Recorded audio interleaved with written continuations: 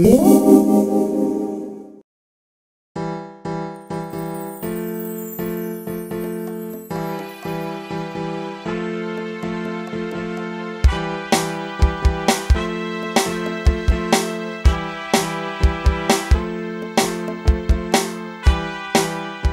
Littlest Pet Shop collection has expanded to include several new lovable pets, like this limited edition collector's pack, a Toys R Us exclusive. This 10 piece set comes with characters ranging from panthers to hamsters.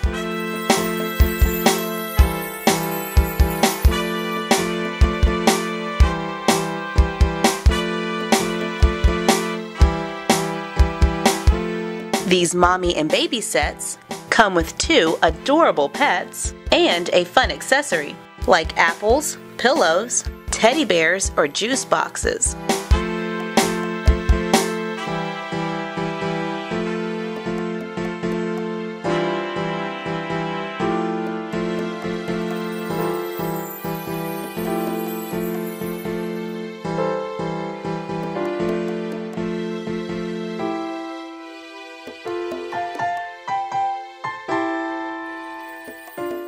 Some sets include a pet and a small friend. This swan comes with a lollipop tiara that is a basket for holding her friend. This magic motion swan comes with a large bird bath. The wings flap when the rubber ducky is moved, and it will close its eyes when brushed with this magnetic hairbrush.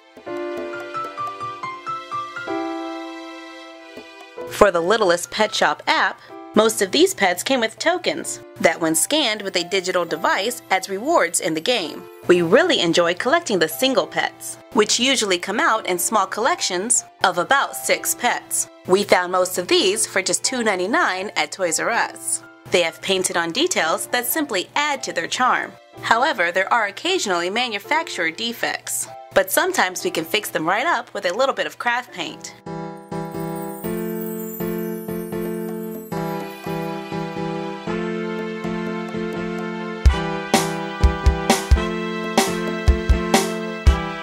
But who can resist the mystery packs or blind bags? For just $2.99, you can get the surprise of a new pet, where you never know what it's gonna be, like a horse, crab, or poodle. These pets have very basic details, with mainly only their eyes being painted, unlike the ones where you can see what you're getting for the same price. But the fun is in the mystery.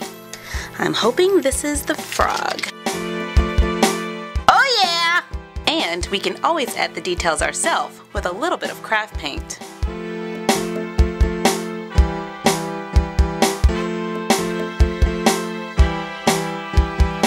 However, you might end up with a few repeats. And if the pets ever need somewhere to hang out, there's a fire hydrant and cozy clubhouse that come with plenty of accessories for the pets to enjoy.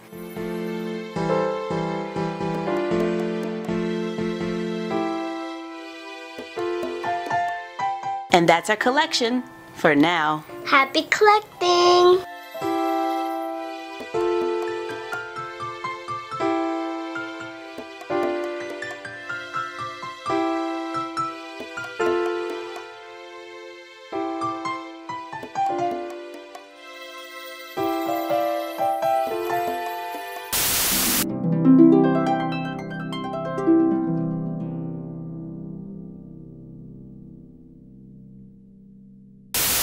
Going to make lettuce for a doll using computer paper, watercolors, Mod Podge or a clear glue, and glue. I start by cutting the paper into small squares. Take one of the squares, fold it in half, cut half of a lettuce shape, just kind of like all wiggly wobbly, bigger at one end than the other. Crumble it up, unfold it, wet a paintbrush with a little bit of water, then get some watercolor paint and go around the edges, making sure to paint both sides, leaving a little bit of white branching out down the center.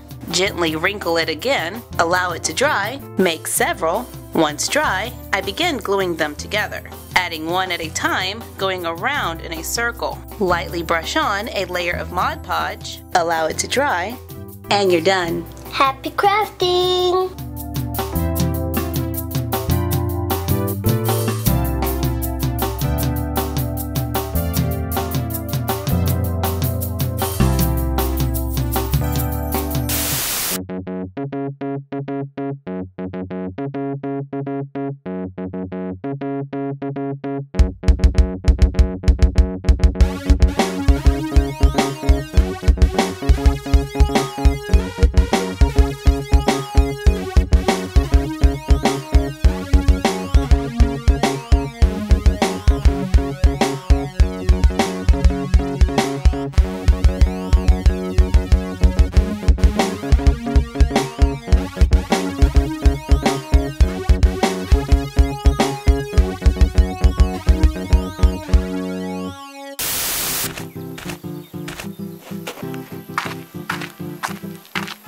That's it. I've had it. This hamster's had one too many bumps and bruises and no red gumball to show for it. I'm turning over a new leaf. Literally. We want to give a shout out to Livy Van Beek. What's up? From now on, I'm going to enjoy lettuce like a normal hamster. Ooh, I love lettuce. Well, well, well. What do we have here? On second thought, scratch that. And I don't mean!